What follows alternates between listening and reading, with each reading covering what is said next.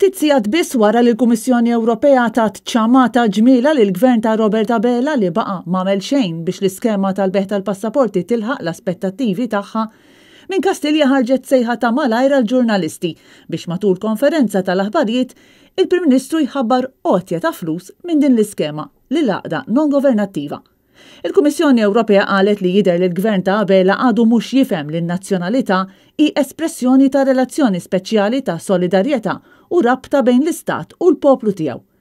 Issa din qed tagħti xahrejn ċans biex il-Gvern isewwi d-diskrepanzi li hemm u jekk ma jagħmilx da, il-Gvern ta' Abela jirriskja li jkaxkar lil pajjiżna fil-Qorti Ewropea.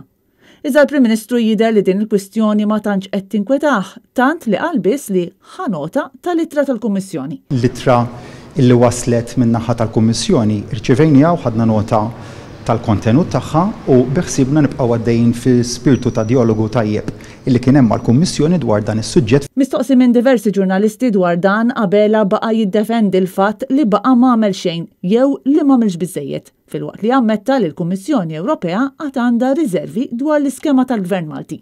Il-programm ta' nispera li jiġi realizzat illi l-programm ta' ċittadinanza b'investiment illum għandu regoli li huma differenti b'mod sostanzjali minn dakinhar li qed issemmi inti.